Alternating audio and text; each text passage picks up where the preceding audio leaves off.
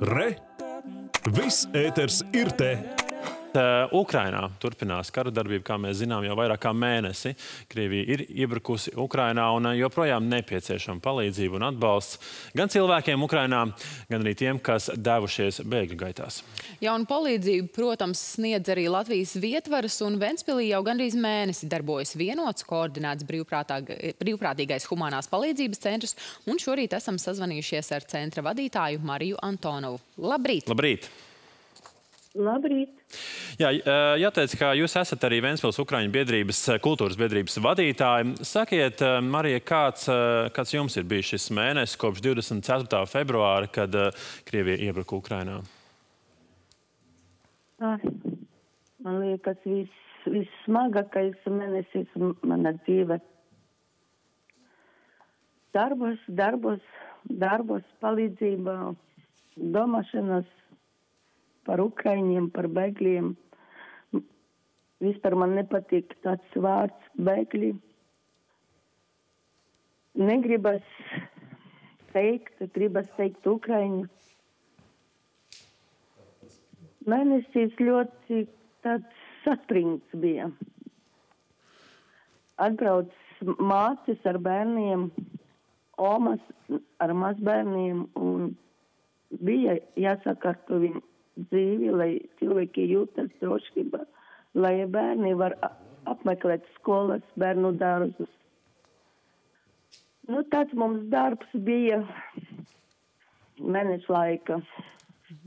Jā, protams, nu, kā jūs arī sakāt, jums droši vien viss šis ir vēl daudz personiskāk, jo jūs pazīstat daudzus cilvēkus no Ukrainas.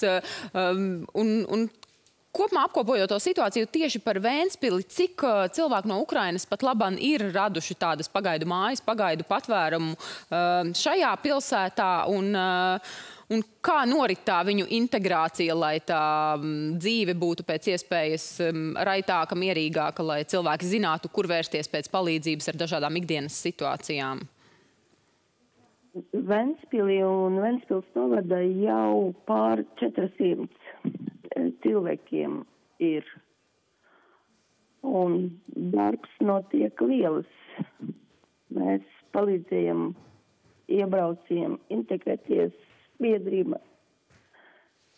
Bērni iet uz bērnu dārziņiem.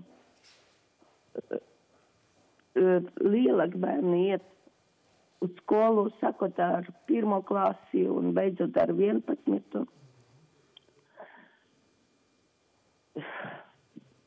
Mācas kursos mēs pasniedzam latviešu valodu. Gandrīz katru dienu viņi apmeklē kursus, kur no uh, Ukraiņu vīdes mums ir skolotājas pašas ukrainietes, bet uh, diezgan ātri iemācījies latviešu valodu.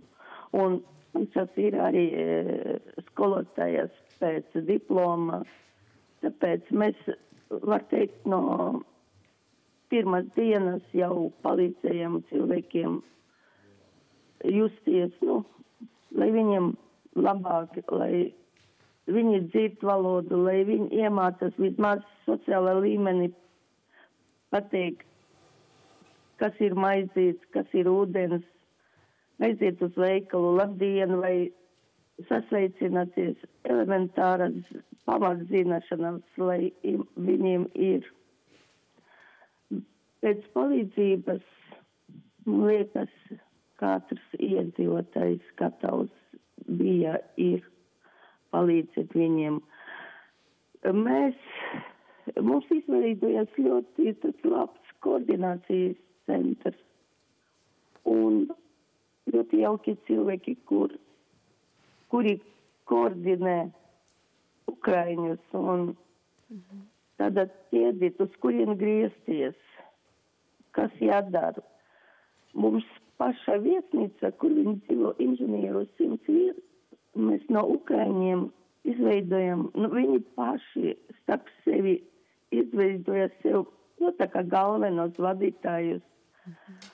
Un viss notiek uz vietas. Aizpildam anketes, dodamies uz sociālo dienestu, dodamies un pilsonības migrācijas pārvaldi ar gataviem dokumentiem, lai mazāk sēdēt rindas, lai mazāk uh, aizņemt vietiņu, varbūt kādam citam tā, tas laiks ļoti svarīgs, lai var, var tikt ātrāk. Nu, tā mums tas centralizēti viss notiek, tā palīdzība.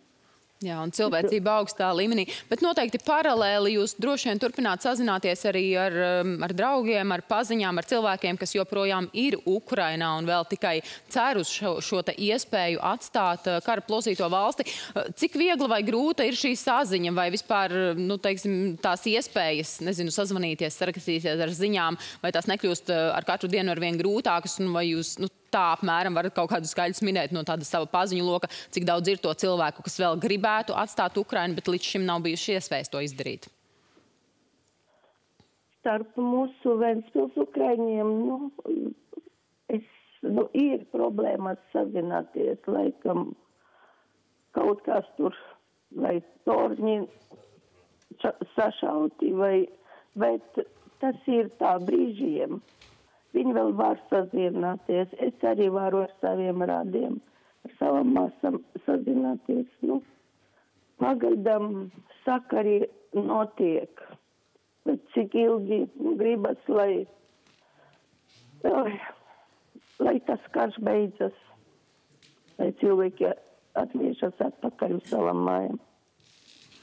Jā, Jā būs tas mājas.